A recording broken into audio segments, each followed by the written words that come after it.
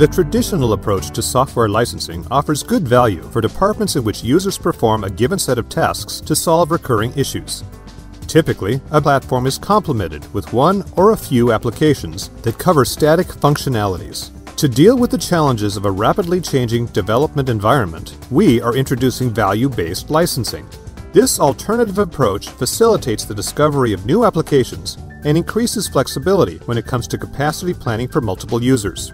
Depending on the specific situation, a mix and match of the traditional way of licensing and value-based licensing should be tailored to find the optimal balance Let's have a look at how value-based licensing exactly works. Starting from the required desktop module, it offers a fully flexible environment in which users can explore different functionalities.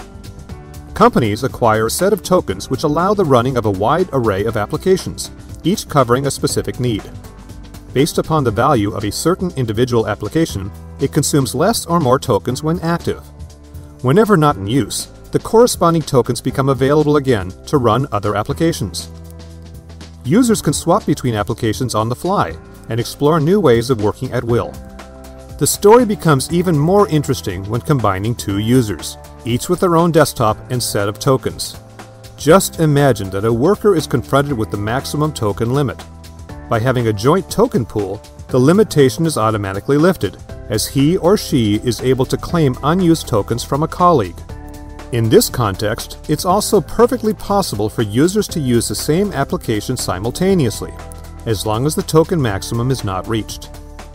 Now, just imagine the possibilities of a corporate setup. In many cases, the total investment is smaller compared to acquiring isolated licenses, yet the flexibility dramatically increases, regardless of whether the modules are used daily or occasionally. By combining all tokens, this approach also effectively deals with peak workload requirements. Another typical corporate pain is a shift in focus over time to use a certain application to address certain issues, leaving the old way of working for what it was. Without value-based licensing, this could lead to idling licenses, whereas now, the tokens can seamlessly be applied to support the new methodology. Last, but not least, most new product features and functionalities automatically become available to all users so that they can check out the extra value they bring without any budget increase. In short, value-based licensing offers a truly flexible, cost-effective, simple-to-scale approach that reduces risk over time and encourages users to maximally explore new possibilities. Thank you for watching. Please visit our website for more detailed information.